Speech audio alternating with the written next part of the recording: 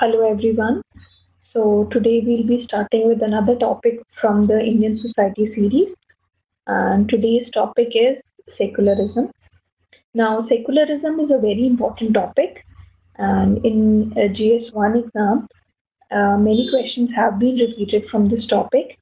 In fact, in uh, 2018 mains, a question about difference between Indian and Western concept of secularism was repeated from 2014. So this is quite an important topic, and you should know what the, the secularism is all about, and what are its origin, and what is the difference between the Indian concept and the Western concept. One by one, we'll cover all of these topics. Now, firstly, the definition of secularism. And secularism is basically an ideology it stands for separation between state and religion. I have repeated before also that uh, whenever there is a, a suffix of ism, it means an ideology. Even it's, if it is communalism or fundamentalism, it is a kind of ideology. For so this ideology of secularism stands for separation between state and religion. It is kind of uh, you know a wall between two of the important institutions of the society. Now, what is the origin of this concept of secularism? So, secularism as a concept originated in the West. Now, so we have to see certain circumstances which you know led to formation of these concepts that okay, the church and the state will be separated from each other.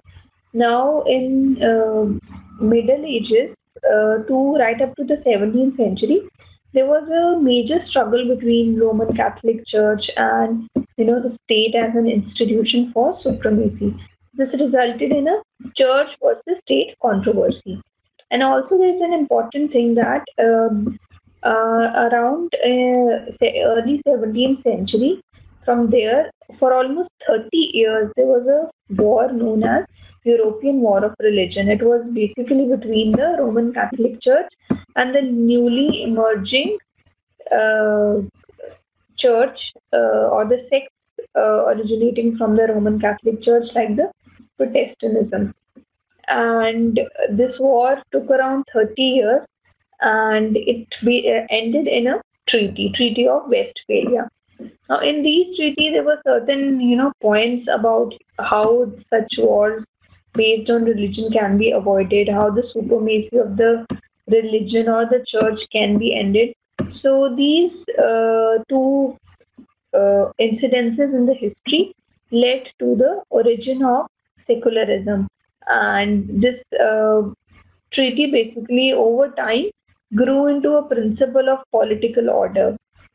And other writers also wrote on this, and ultimately uh, it became an ideology which enunciated the separation between the state and the church.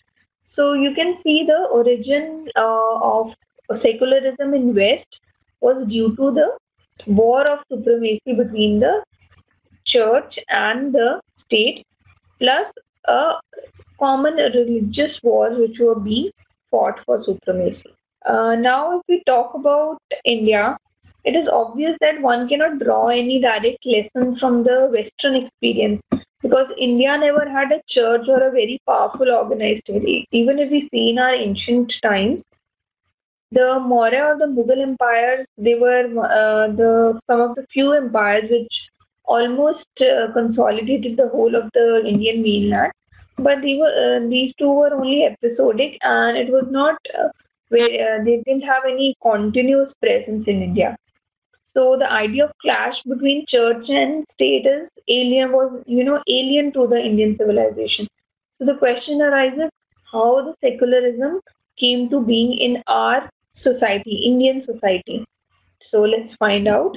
Now, Indians came across the concept of secularism in 19th century as a result of British rule, and there was advent of uh, you know the Western education. So obviously, the new ideas of not only these secularism, modern political order, communism, they were uh, spread in the Western educated Indians, and it was basically limited to the urban areas. And if we see the word secular in political sense, it was used after the formation of Indian National Congress in 1885. And the word secular and the word secular in political uh, terminology in India came to be used in pluralistic setting and not in the Western sense that it indicated indifference to religion. And uh, so basically, it is not as a result of war between any two religion or war between the religion or the state. It mainly originated because uh, to allay the apprehension of the religious minorities to glue together the various uh, individuals which are emerging for different religions to glue them together for the Indian national movement. So secularism in India, you can see uh, from the start has a very different connotation uh, and it related more to the community and secular interest rather than religion and its authority. So it's clear the origin of both Indian and the Western concept of secularism are entirely different, even though the principle as such is the same.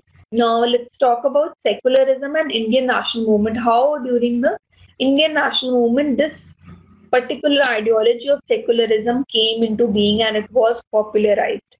Okay, now the leadership of our freedom struggle uh, had to devise a principle, you know, that would be, I've talked earlier also, the, a kind of principle that would be able to hold the people together because ours was a heterogeneous society.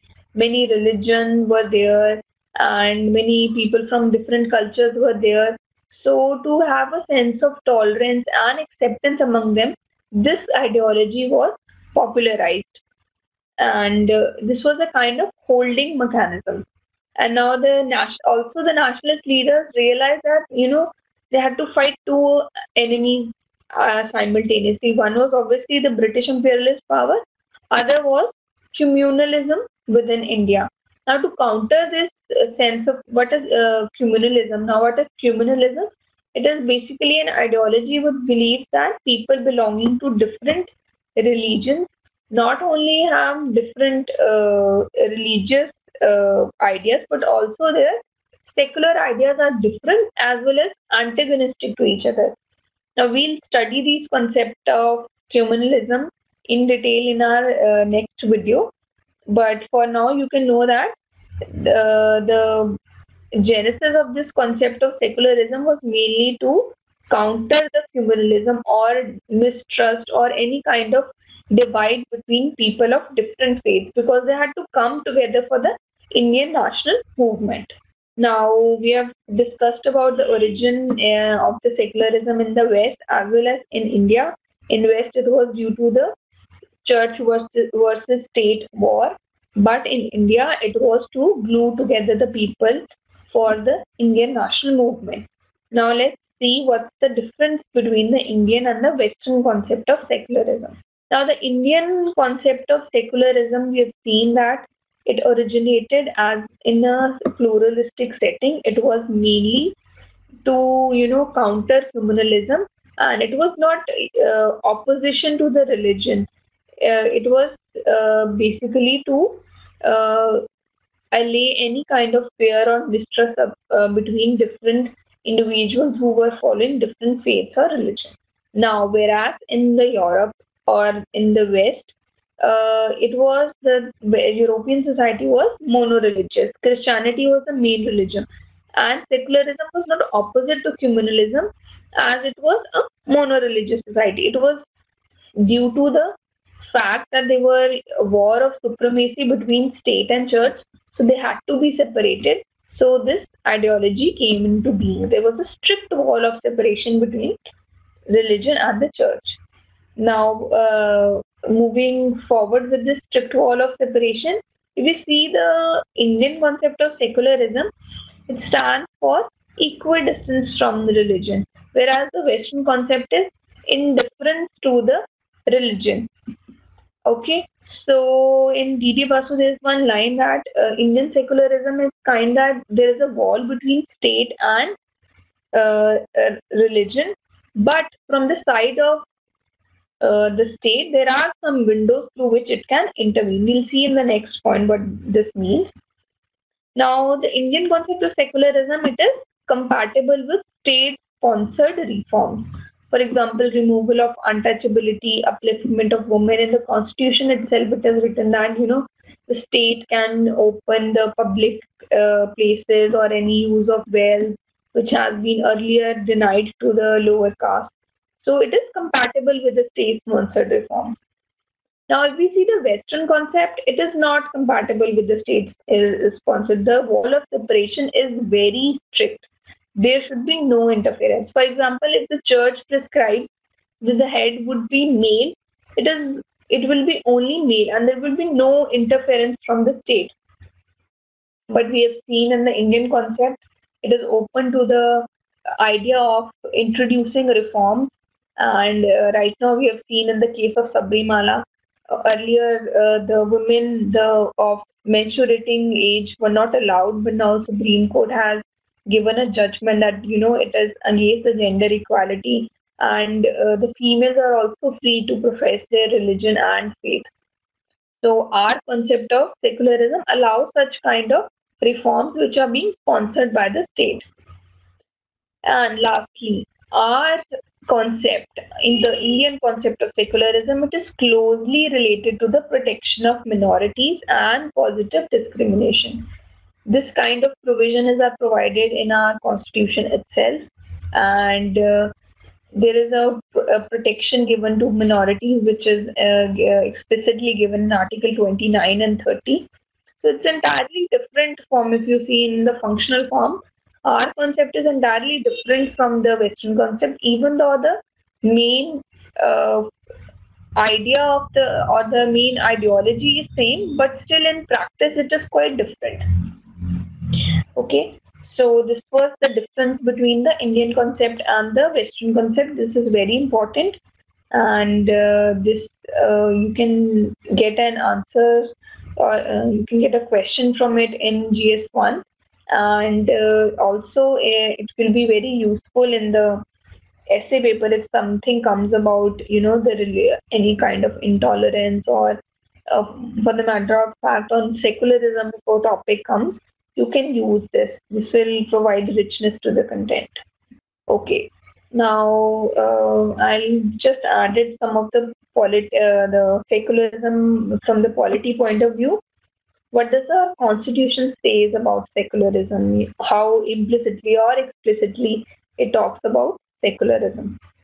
Now secularism in indian constitution is connoted by uh, the thing that state doesn't have a religion and then the public revenues are not allowed to be used to promote any religion.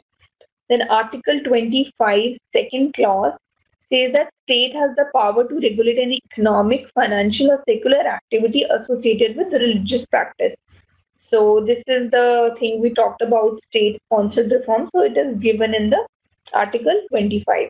Then also on Article 25, Clause 2, Part B, it is written that the state shall have the power to, uh, through the law to provide the social reform or throwing opening of the Hindu religious institution of public character to all classes and sections of Hindu. So these are some points which uh, are laying the foundation of the Indian concept of secularism.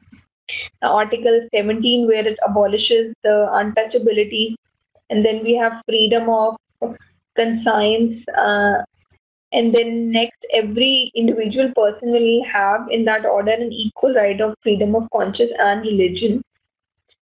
Uh, next, uh, the these rights are you know explicitly gives the idea of secularism or includes it in our constitution, and the preamble also states that you know ours is a, a secular country.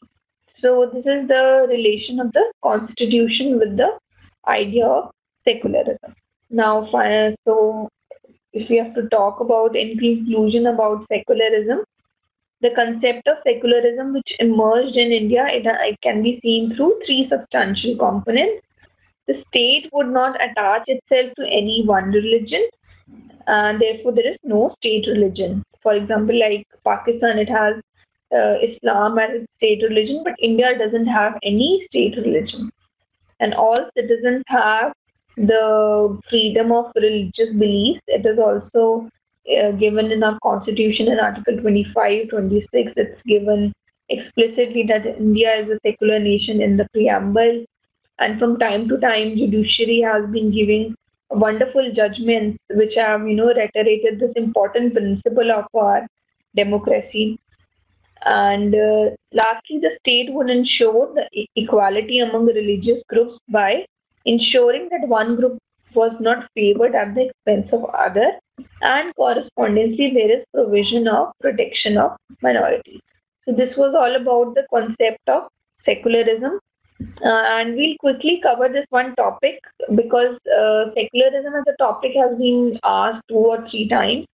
So there's a very less chance that again it would be asked but there is an attached topic to secularism and we'll just quickly cover in one slide. It is known as secularization. Now, we studied about secularism, it is an ideology.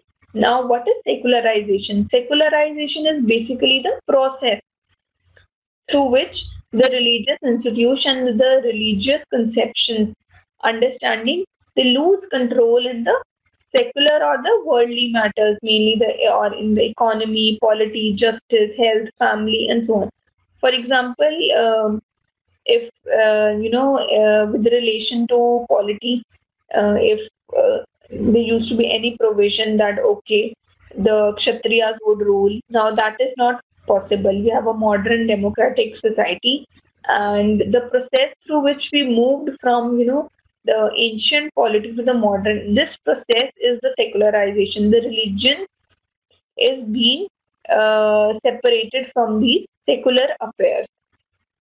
Okay. Now, instead, there emerged empirical and rational procedures and conceptions about world in the general. So this thing, the process through which we, you know, follow the ideology of secularism is secularization. It's a process. Now, it's a process where various institutions gradually become distinct from one another increasingly free from the matrix of religious assumption that had earlier informed, inspired, and dominated their operation. So, this was a small topic about secularization, and I'm sure the sociology students must be aware of this. And uh, this is a very important topic for the sociology student. But as a non sociology student, you have to write the GS answer also.